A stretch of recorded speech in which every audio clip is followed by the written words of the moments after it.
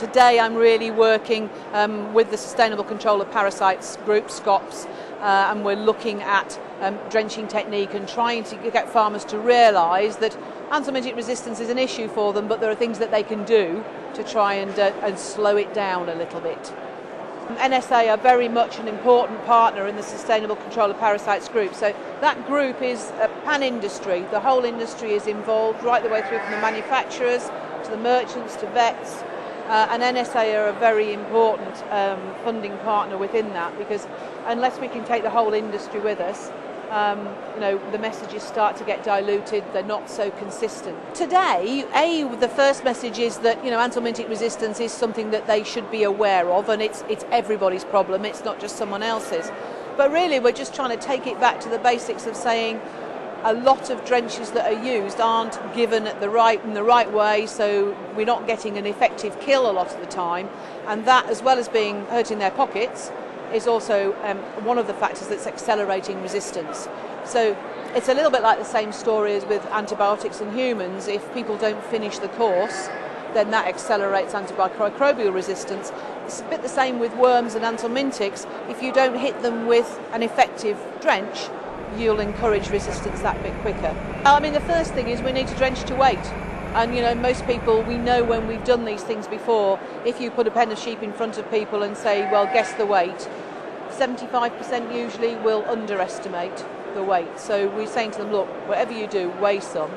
It's important that you get the right dose rate, the heaviest in the group. And interestingly, the group that we've got here, a ewes, the average is about 65 kilos, but they range from 78 and a half to well below in, into the 50s. So really, we would say split that group, particularly if you're using an expensive product so that you get both right, but you're not over drenching where you don't need to. Um, so that's the first one. Second one is calibrate your gun. Guns are notoriously unreliable and they need calibrating very, very regularly. And the third one is to get the technique correct. Most people, surprisingly, have never actually been shown how to drench a sheep. They've just picked a drencher up and it's assumed you know what you're doing. And it's really important that we get that drench in there over the back of the tongue so that we don't miss out the rumen and it end up somewhere in the sheep that um, it's not going to do any good at all. So simple stuff, but it all adds up to the fact that we're pretty sure the majority of drench that gets used in the UK is below par in terms of having it delivered at the right rate in the right place. Fecal egg counts are a really useful technique um, and particularly useful to get farmers to check whether or not the drench that they've used is effective or not.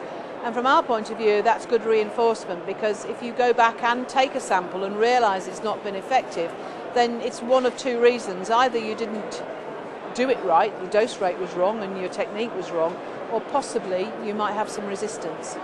Um, so, so fecal egg counting, that's a really good place for people to start. Um, and yeah, we used to tell people use the same drench for a whole year. Um, but now, with the modelling that we've got and the experience that we've got, we know that we can no longer um, advocate that because we have different types of worm over the year. Um, and it's really important, particularly with the two new groups that we've got, the group four and the group five. The advice is to use those about this time of year because it will help to redress the balance um, of the damage that you've done with the other groups up to that point. Uh, whereas if you carry on just using those groups, you're building the resistance during the year, never mind year on year.